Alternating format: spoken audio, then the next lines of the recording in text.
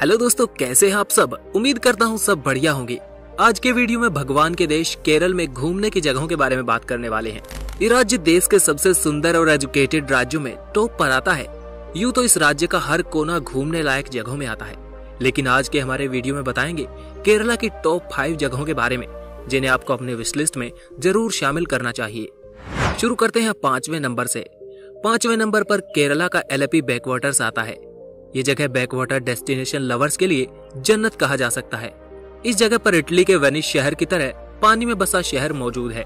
लेकिन ये भारत वाला वर्जन दुनिया के लोगों को बहुत ज़्यादा पसंद आता है, क्योंकि यहाँ पर केरला के कल्चरल घर, नारियल के पेड़ों वाली हरियाली, शांति वाली लश ग्रीन जगह मौजूद है। इस जगह को बैकवाटर वेकेशनर्स का मक्का भी कहा जाता है। टूरिस्ट को यहाँ की हाउस बोट में बैठकर साउथ इंडियन खाने के साथ वेम्बानंद लेक में घूमना बहुत ही ज़्यादा पसंद आता है।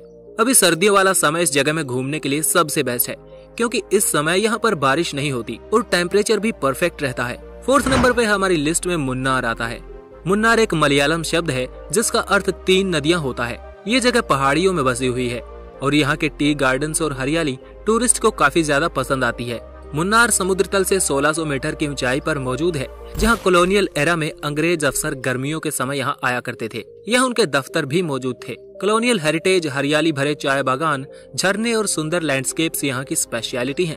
मुन्नार में नीलकुरिंजी नामक एक पौधा भी उगता है, जिस पर 12 साल में एक बार बहुत ही ज़्यादा सुंदर फूल उगते हैं। इस ब्लॉसम सीज़न में मुन्नार की पहाड़ियों के वॉकवेज पर टहलना टूरिस्ट को बहुत ज़्यादा पसंद आता है। तीसरे नंबर पर इस लिस्ट में तिरुवंतपुरम शहर आता है। ये शहर केरल की राजधानी होने के साथ साथ यहाँ का सबसे बड़ा शहर है। पूरे केरल के हर कोने की संस्कृति, पकवान आर्किटेक्चर अगर आपको देखना हो तो इसी शहर में आपको देखने को मिलेगा। जैसा कि आपको पता है, केरल राज्य अपनी एजुकेशन के लिए भी जाना जाता है। भारत में स्पेस से रिलेटेड एक्टिविटीज़ इसी राज्य के विक्रम साराभाई स्पेस सेंटर में की जाती हैं। विज्ञान में रुचि रखने वाले लोगों के लिए ये जगह बेहद ही खास है। भारत में इसरो द्वारा बनाए गए रॉकेट और सैटेलाइट बहुत बार यही से लॉन्च किए जाते हैं। इस वजह से इस शहर का नाम दुनिया भर के लोगों के बीच काफ़ी ज़्यादा पॉपुलर हुआ है। कोई भी विदेशी जब भारत आता है तो इस शहर को घूमने ज़रूर आता है। सेकंड नंबर पर हमारी लिस्ट में कोची शहर आता है, जो बिल्कुल समुद्र के किनारे मौजूद है।